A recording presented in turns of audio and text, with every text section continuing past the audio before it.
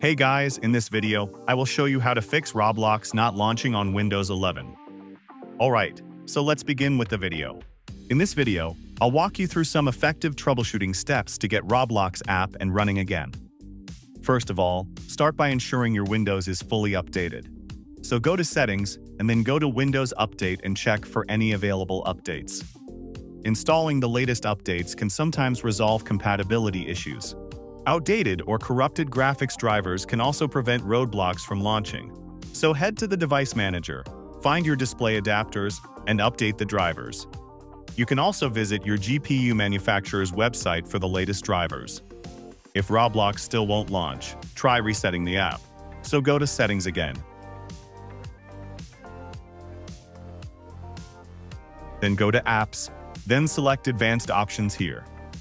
Click Reset to restore the app to its default settings. If you're playing Roblox to a browser, cleaning the cache might help. So open your browser settings and find the option to clear browsing data and ensure cached images and files is selected. Then restart your browser and try launching Roblox again. If none of the above steps work, try reinstalling Roblox. Uninstall the app from your system. Download the latest version from the Roblox website and reinstall it. That's it.